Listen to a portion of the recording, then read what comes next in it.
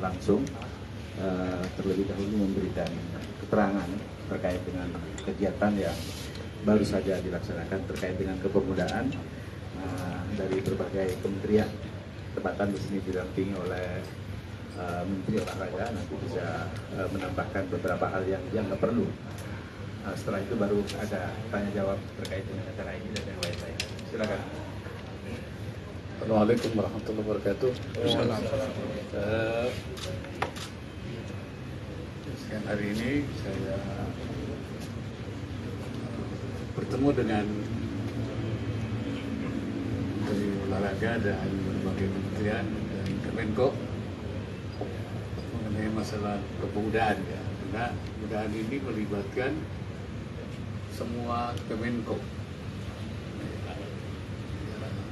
Bukan hanya PMK tapi juga semua ikut karena ada aspek-aspek yang ada di koordinasi Menko-Menko itu ya, baik itu soal pendidikan, soal ekonomi, soal tenaga kerja, soal ya, kepemimpinan, soal kesehatan, dan lain-lain sebagainya.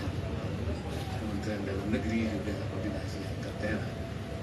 Nah, dari hasil laporan yang tadi disampaikan, kita ingin memang uh, ada capaian-capaian indeks prestasi pemuda. Itu kita menargetkan supaya ada peningkatan-peningkatan. Di 2023 ini ada peningkatan. Yang 2022 itu 53 ya. Koma sekian sekarang sudah mencapai 55 nah, indeksnya ada naik. Memang ada beberapa indeks yang memang masih belum mencapai 50 persen. Itu karena itu perlu ada. Kita untuk 2024 itu indeksnya kita harapkan menjadi 57 koma sekian. Ini diharapkan ya 50 ini bisa tercapai. Dengan catatan ada beberapa uh, misalnya di ketenaga kerjaan ya kesempatan kerja memang tadi disampaikan sudah ada peningkatan sebenarnya itu. Uh, masih di bawah 50 tapi sudah ada peningkatan. Kemudian kepemimpinan ya itu juga ini yang akan kita kejar. Jadi beberapa kendala-kendala itu kita uh, kita telusuri. Masalah yang klasik itu koordinasi antar uh, OPD ya organisasi pemerintah daerah. Kemudian dukungan komitmen pemerintah daerah tentang anggaran.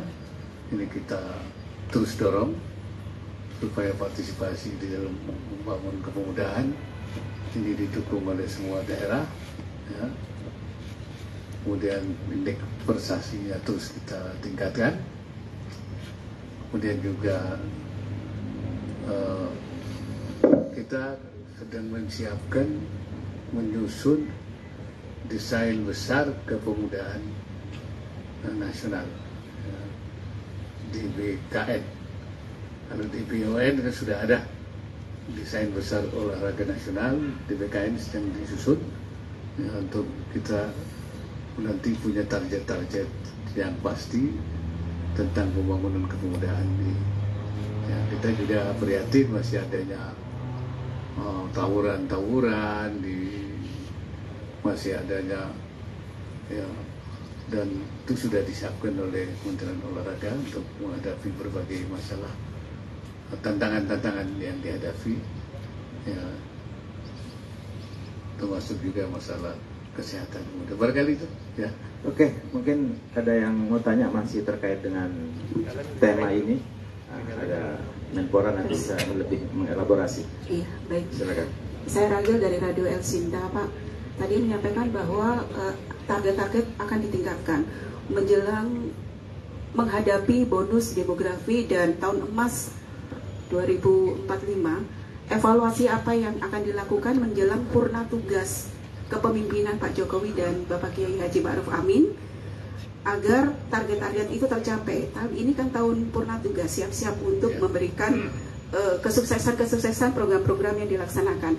Yang kedua tadi ada desain besar kepemudaan. Itu tahun berapa akan dilaksanakan? Targetnya tahun berapa? Terima kasih. Ya, mengenai pertama tentu di 2024 ini, ya seperti tadi saya katakan tuh eh, target indeks prestasinya itu di 2024 itu 57 lebih.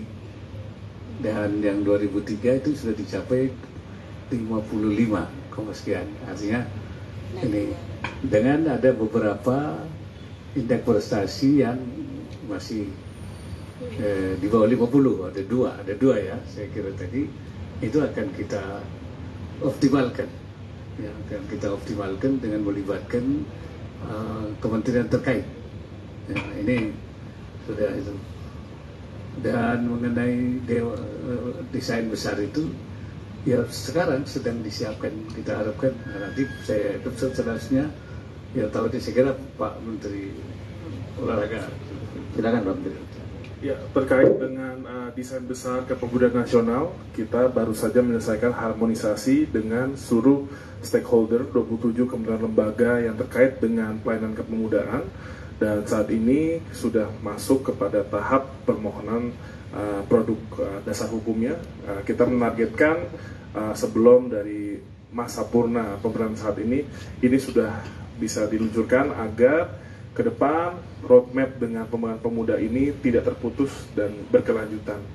Dan tadi terkait dengan IPP, tadi sudah disampaikan ada dua poin yang masih di bawah 50 yaitu uh, tenaga kerja dan juga uh, lapangan pekerjaan serta uh, kepemimpinan. Ini saya kami rasa harusnya untuk di 2024 akan eskalasi karena tadi sudah disampaikan dari Bu Menteri Tenaga Kerja Bu Ida Fauzia sudah memaparkan program-program ke Kemenaker khusus untuk program tenaga kerja muda.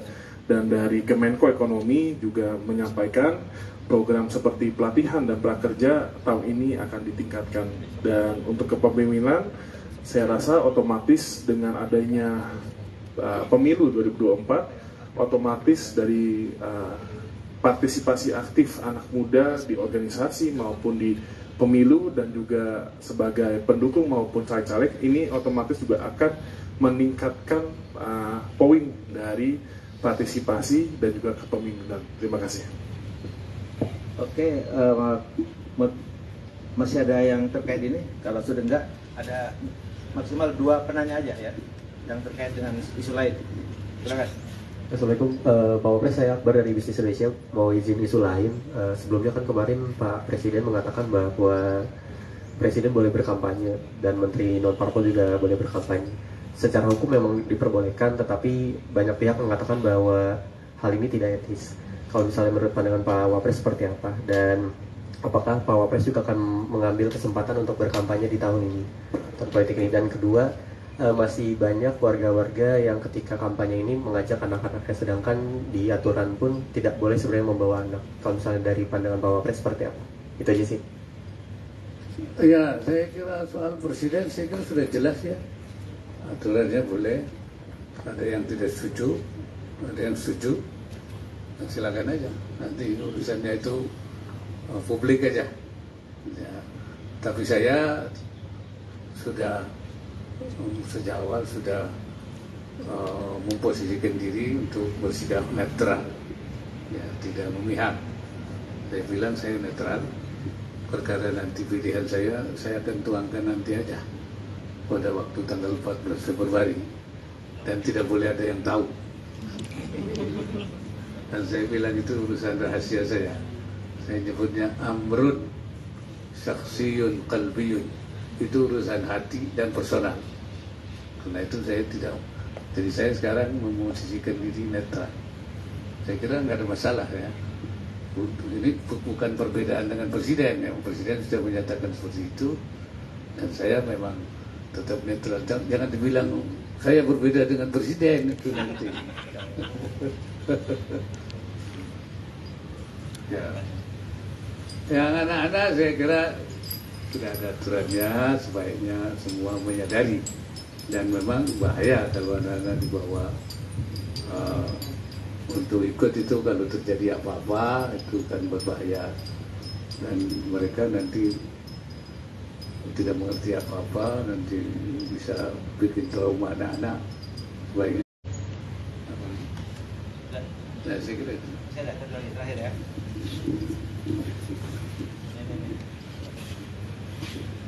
Selamat sore Pak Wapres, saya Dian dari Kompas TV Pak mau tanya ada ini Pak temuan pembagian bansos beras yang eh, ada stiker salah satu paslonnya. Nah itu tanggapan Pak Wapres seperti apa? Karena ada kecurigaan bantuan sosial kemudian dipolitisasi. Terus yang kedua minta tanggapan Pak soal kemarin saat rombongan RI 1 melintas ke Jawa Tengah itu ada eh, acungan dua jari. Nah itu pendapat Pak Wapres seperti apa? Terima kasih.